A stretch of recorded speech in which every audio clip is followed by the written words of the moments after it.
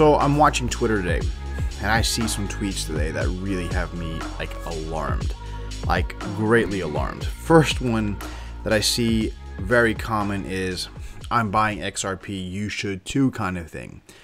Let me let me think about this. Let's all think about this for a second. XRP, or rephrase that, Ripple, okay, has a lawsuit against it right now from the SEC.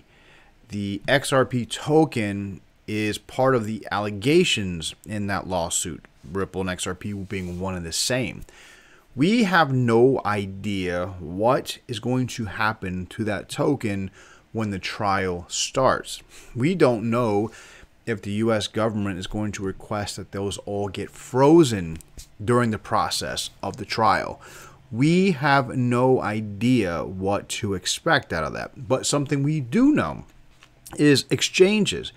Coinbase has already been public about this, and so has two others, that they are going to remove XRP. The discussion is there to remove the XRP token from the exchanges. And of course, this is being done so that they don't have to worry about facing any of the wrath from the US government themselves. So, those we have three exchanges talking about it, and we know that the other exchanges will also consider it because they don't want problems with the US government. So, what happens, right, when you have XRP hodlers telling you to go buy more XRP, right, and then they get delisted from the exchanges? What are you going to do with those tokens?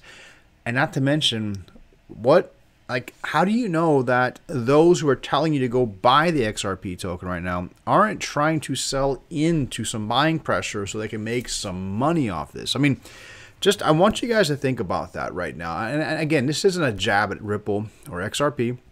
This is me showing some concern for you guys. If you choose that you want to go buy XRP token, right? It's a dice roll, it's a gamble. I think it's very irresponsible to encourage other people to go and buy it as well there's too many elements right eh, that exist right now that pose a great threat to your ability to cash out or even make any money off of it. So be very careful with that. Now, the thing is, we've had FinCEN rollout, we have the SEC lawsuit with Ripple rollout. There's more things in the pipeline that people aren't even aware of. US government regulations that people are not even aware of and all these things are going to tie together. It's 2021 is going to be the year of enforcement, in my opinion, not not the year of regulation. I think 2020 was a year of regulation. I think 2020 is a year that they got the framework all put together.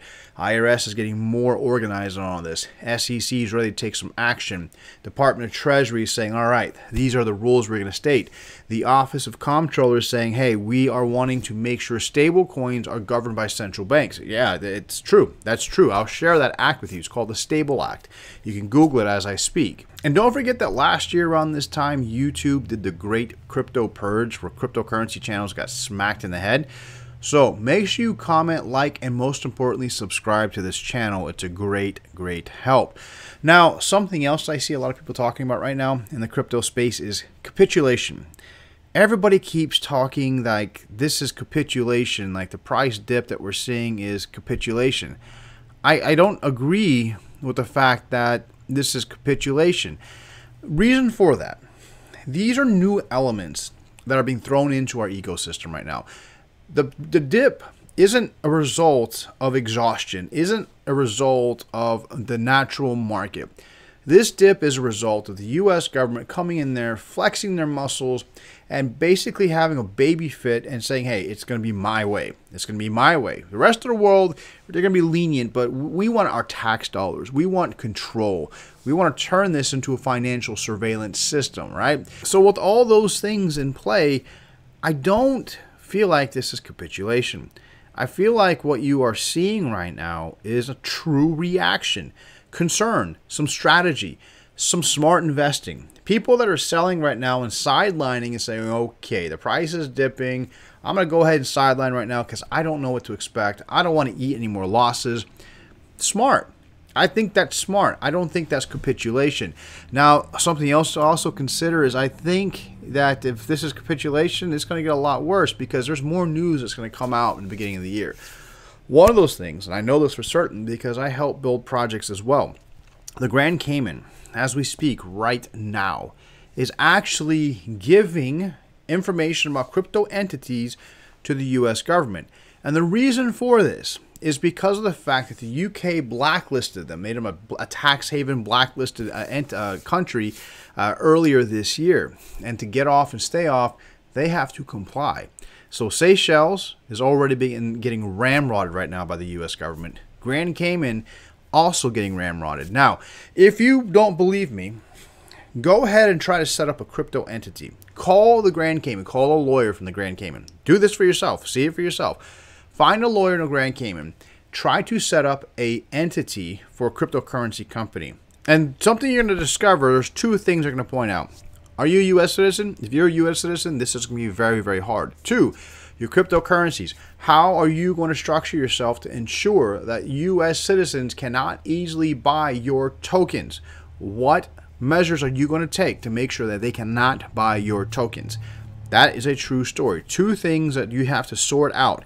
They're also making it pretty clear. Speak to a legal speak to a legal team yourself in the Grand Cayman. It's pretty clear that right now the U.S. is getting jurisdiction to prosecute these crypto entities in the Grand Cayman. So things are going to be very different in the future. A lot of people ask me the question of what does this mean? Is it is it, is it crash and burn?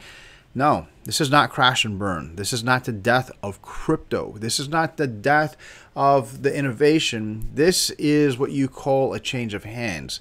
And I'll, I'll get into more detail as to why and to what, but basically what you're going to see in the future is the little guys. Most of you are the little guys, working class individuals who got into crypto to try and change your stars, to come in here and try to make some money, make some wealth.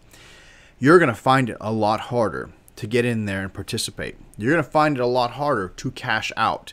You're going to find it quite expensive to comply with the KYC and AML. The whole process of being compliant with crypto in the near future is going to cost money. It's going to require accountants and lawyers. I guarantee you, most of you guys won't be able to afford that. This is a good way of weeding out the little guy. It's true. And I think that's going to be the most significant aspect of all these regulations is I don't like seeing the fact that the little guy is going to get weeded out. And in all fairness, the little guy isn't the only one that's going to suffer. So we have a new uh, stablecoin bill. Some of you guys know about this, some of you guys don't. But there's a sta the stable bill is basically designed. Okay, they call it a stable act. But to summarize the entire thing, and here is the proposal, it is to make it to where your stable coins are under the control of the central banks. So there have to be bank they have to be licensed as banks, regulated as banks, and function under the management and control of the central banks. That's that's huge. That's that right there is it a stable coin at that point? I mean, shouldn't you acknowledge it as a separate currency? I don't know. I don't know how that's going to work. But if this were to go live, can you imagine? Can you imagine what would happen in the crypto market if this bill were to get passed, if this proposal was to actually be enforced, if it was to make it to the books, the Stable Act, to where stablecoins will be governed by central banks and controlled by central banks. Could you imagine the amount of wells that would be dumping out of this? I mean, where would you go? Maybe DAO, make Maker DAO. I mean, you have some options, but those options are fairly limited. And yeah, this was presented a few months ago, September 21st, but Presidential Advisory Group weighs in on regulatory approach to stablecoins. I'm telling you, this is not going to go away the this this current administration and the next administration is going to do something about stablecoins and the reason they have to do that is this kind of stuff these stablecoins actually interfere with their currencies.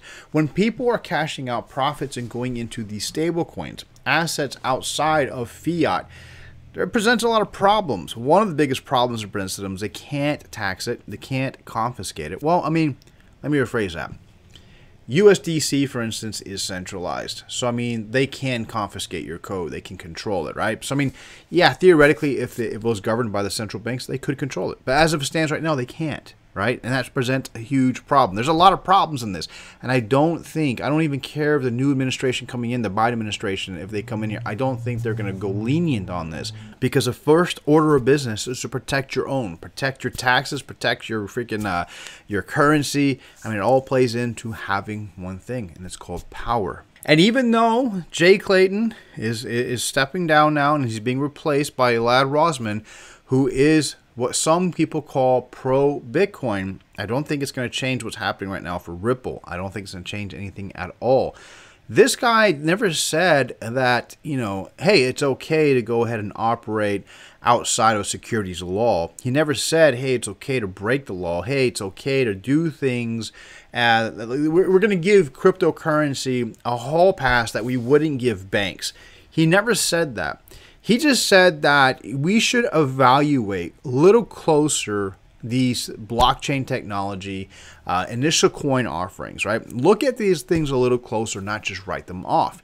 And that means more regulation. Doesn't mean that, hey, here's a hall pass, go do what you want, even though Wall Street can't get away with this kind of stuff. You guys can. You're special. I mean, think about that for a second, guys. We're not special. We're pretty insignificant when it comes to the world. Think about the, the, the, the percentage of the population, the global population that's in crypto pretty goddamn small. So I think, you know, I think that uh, a lot of people are going to be greatly disappointed with this new chairman. I do think that they're going to move forward with the Ripple lawsuit. And that Ripple lawsuit does have teeth. SEC papers show settlement between Ripple and R3 was over 240 million. Basically, this is uh, as like a noose, like said, it's a rope hanging them right now. And the reason for that is the fact that Ripple used the XRP token at their discretion without any having to consult any other party to pay for R3 and their services, which is like, oh, so it is centralized. Oh, you guys do have full control of the XRP token. Now, outside of the XRP token, there's a new bill that's being proposed that no one's talking about. That's it. That's that's basically what they're trying to do is to put crypto exchanges under one national framework. Yes, guys, this is serious stuff. They call it the Digital Commodity Exchange Act of 2020. So imagine if all crypto exchanges were, were under the jurisdiction, the federal jurisdiction of the United States. Holy hell! But this is this is actually a bill. This is an actual bill. Um, I'll try to remember to put the link for this down below, but you can see and read the bill for yourself. It's pretty well thought out and done. Someone did do the research. They did. Uh, jurisdictions can be an issue, but then there's another problem. There's another problem. See, the thing is, it's not hard to prove that U.S. citizens are in there using these exchanges, and that you can circumvent these these issues by using a VPN. And then most exchanges, including Binance, as a U.S. citizen, you can still use Binance in China but you'll have a limit of like 2 BTC in a 24 hour period for your with- withdrawals without your KYC. So, I mean, there's still ways for U.S. citizens to use these exchanges, which means they can fall under U.S. jurisdiction or U.S. prosecution. They have the power to do something about it because their citizens can get in there and play. So, I mean, I don't know. You know, things are things things are very much changing, but you have to realize there is more bills on the on the table, more bills uh, from the Congress, Senate, and various different representatives of the U.S. government that are trying to put some sort of enforcement on cryptocurrency. So, I mean, things. I don't know. I think it's a bit arrogant for anyone to think that you know the U.S. government can't do something, that can't enforce this, can't make our lives miserable. Now, the worst part about all of this, in my opinion, though, is the compliance aspect is going to be expensive. It is. If all these bills pass and you have to KYC AML the way things are supposed to be, record keep the way things are supposed to be, I mean, it's going to involve legal help, it's going to involve accounting, and most people that get into cryptocurrency to change their stars can't afford those kind of processes. They can't. They can't keep up with it. It's very expensive.